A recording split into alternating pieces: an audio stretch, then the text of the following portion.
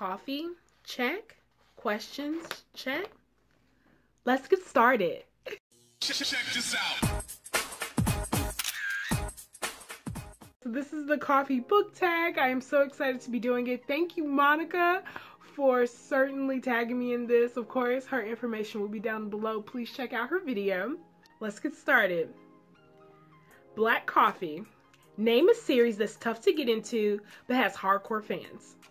Now, I'm going to be honest with you. Uh, the first thing that came to mind was the Raven Boys. Like, that first book was tough, y'all. I just, it's not the whole book that was really tough. It was like that first chapter, and I was listening to an audiobook. So I wasn't even reading it. I was just listening to it and was a bit sleepy. And I was driving, so that was horrible. But but actually as it went on and on and on, I really really did get interested and invested in the characters. And I am going to be going along with that series as you all know. And I do enjoy this series, but the fanship is real. It is real. Next question. Peppermint Mocha. Name a book that gets more popular during the winter or a festive time of year. This is a throwback to all the people who had this as required reading from back in the 90s. and that is the Chronicles of Narnia, more specifically Lion, the Witch, and the Wardrobe by C.S. Lewis. And if you've not heard of this, this is crazy. What are they teaching in schools these days? This book came out in 1950 for crying out loud. There are three movies that are out, and the last movie came out in 2010.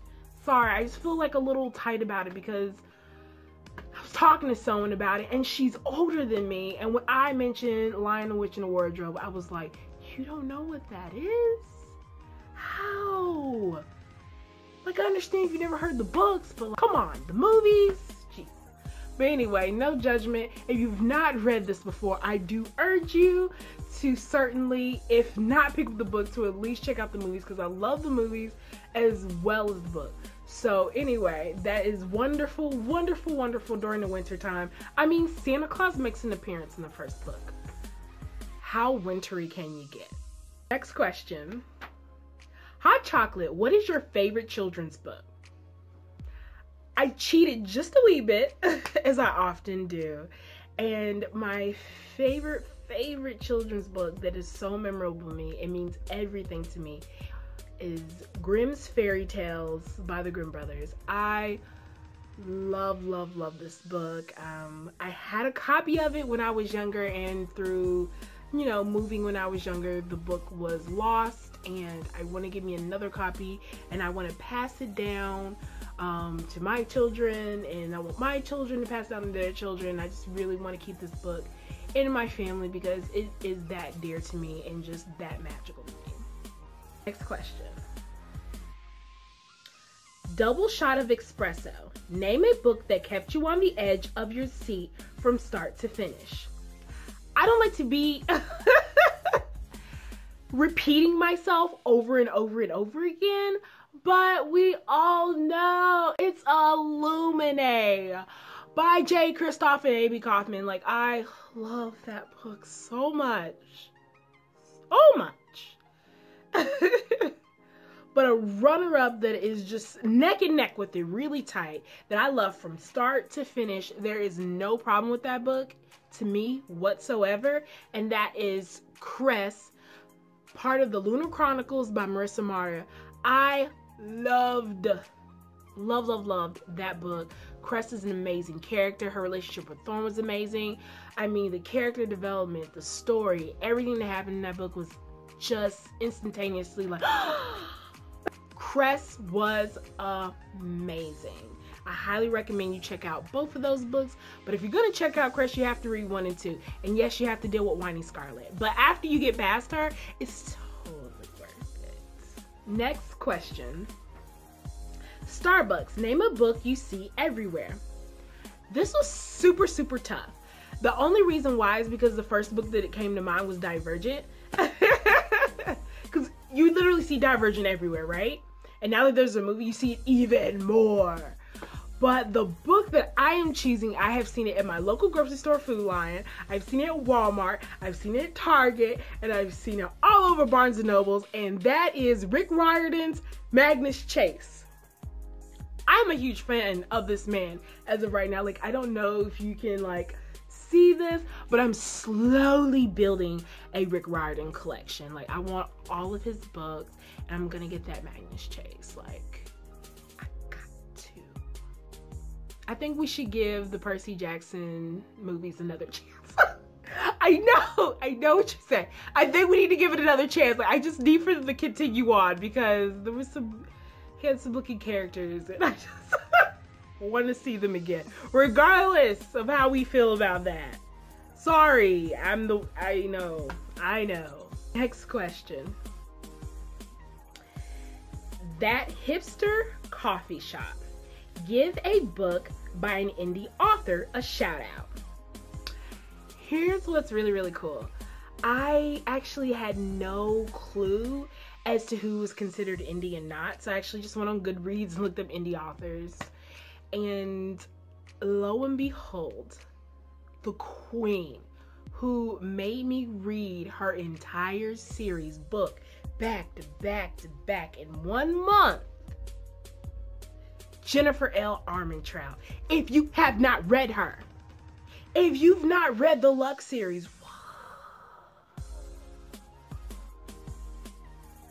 absolutely amazing. Like Obsidian is my thing. Like, oh my gosh, Daemon Black, like, is the sexiest man in a book. Jennifer L. Armentrout created the sexiest man in the book. Yeah, there's plenty of other characters where like, oh, I totally ship him, and he's like totally awesome. He's so sweet, and he's handsome. Oh. But no, Daemon Black is just oozing with just sexiness. Like, oh my gosh. Like, I was like, dang. As I'm reading the book, dang. Mm. You know, like, that's how good looking this woman has shaped this man in my head. And I'm just like, and you ask anybody who's read Obsidian how they feel about Daemon Black. I'm not a lion. I'm not lying. Allie, comment below. Let them know. Allie, let them know. Chelsea, I know you're reading that book too. Let them know down below. I'm, t- I'm telling you, like, sexy. Next question. Oops, I did it again. I play with your heart. Got lost in the game. Ooh, baby, baby, oops. You think I'm in love, and I'm sitting from above. I'm not that innocent. Oops, I accidentally got deaf.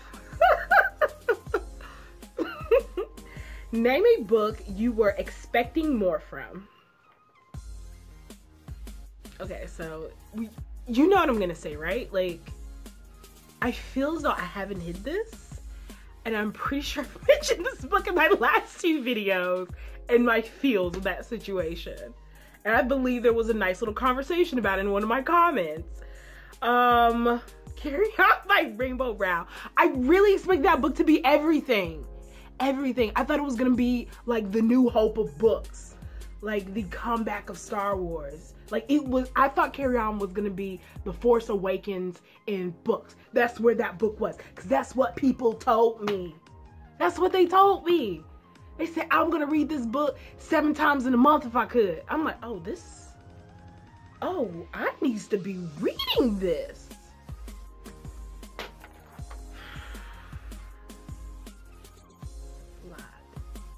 So hard. They did not tell me the truth. I just, I really just feel lied to, honestly. And can I say this? It is not a bad book. It is really not a bad book. It's like that first 125 pages, just that 100, 125 pages of just, what am I reading? What is this about? I'm unsure. Where are we going with this? Will I ever know what this is about? Like you just feel that way for 125 pages, but after that, it really is just like, oh, it's, it's an absolutely amazing book. And then the end is like, how you feel about that? But I'm just saying, like, for I thought that book was gonna be from beginning to end.